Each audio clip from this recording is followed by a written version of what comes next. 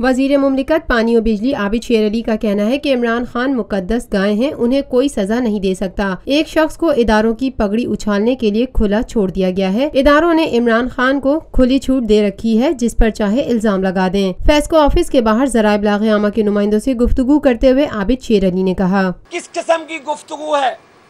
یہ کس قسم کا پاکستان ہے؟ یہ کس قسم کا انصاف ہے؟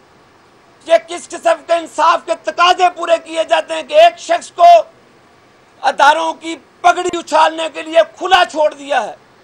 اس کا پٹا ڈھیلا کر دیا ہے کہ آپ جو مرضی کہیں، جس کے خلاف مرضی کہیں۔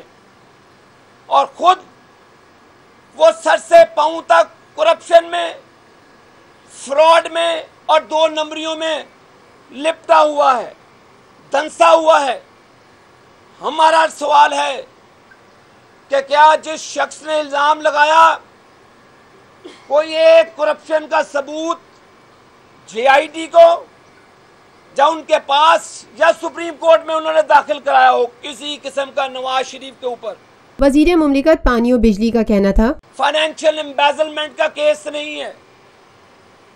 اس شخص نے جب بھی وہ پاکستان میں اقتدار میں آیا نواز شریف نے پاکستان کی خدمت کی ہے۔ آج خدمت کا یہ صلاح دیا جا رہا ہے کوئی کرپشن کا چارج نہیں اس شخص کے اوپر۔ آج پھر بھی وہ شخص آئین کی بالادستی کے لیے، جمہوریت کے لیے وہ وہاں پہ پیش ہوئے، جو سیاست کے آئنسٹائن، جو فالے نکالتے رات کو بیٹھ کے وہ کہتے ہیں جی کہ نواز شریف پیش نہیں ہوں گے۔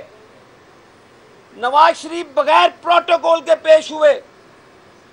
نواز شریف اس پاکستان کے پرویز مشرف نہیں ہے کہ جو کمر کا بہانہ کرے، ایم آر آئی کرائے اور ہاسپٹل میں داخل ہو تو عدالتوں کا احترام نہ کرے۔ نواز شریف صاحب، پرویز مشرف نہیں ہے کہ دبئی علاج کا بہانہ کرا کے بھاگ جائیں۔ کھڑے ہیں پاکستان کے اندر۔ اس ملک میں نواز شریف کا احتساب دس سالہ دور پرویز مشرف کی آمریت میں کیا گیا؟ دس سال میں کوئی کیس نہیں بنا پلین ہائی جیکنگ کا کیس نواز شریف پر بنا دیا گیا۔ وزیر مملکت پانی و بجلی عابد شیر علی نے مزید کہا۔ خود جمہوریت پر شب خون مارا خود آئین کو توڑا اور کچھ اداروں نے اس کو کانسٹیٹیوشن کو ری رائٹ کرنے کا اختیار دیا۔ اس وقت بھی نواز شریف کا کڑا ترین احتساب ہوا۔ اس کے بعد پیپلز پارٹی کا دور آیا۔ حکومتوں کو توڑا گیا۔ کسی کو نہیں روکا تھا۔ وہی جو رحمان ملک کی رپورٹیں تھی وہ پرویز مشرف نے لے کر ٹرائل کیا نواز شریف کا اور ان کا اہل خانہ کا۔ کوئی کرپشن کا سلسلہ نہیں ہے۔ اور بھائی، نواز شریف کی پارٹی میں کرپشن نہیں پاکستان کی خدمت ہے۔ وہ پاکستان کا خدمتگار جے آئی ٹی کے سامنے پیش ہوتا ہے، جس پر اس کو تحفظات بھی ہیں۔ حسین نواز کی پٹیشن بھی ہے اس جے آئی ٹی کے خلاف۔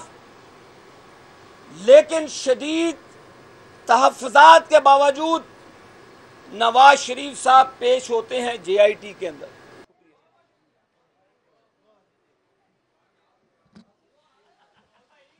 Lotus Lake Towers a ground breaking endeavour by Lotus Properties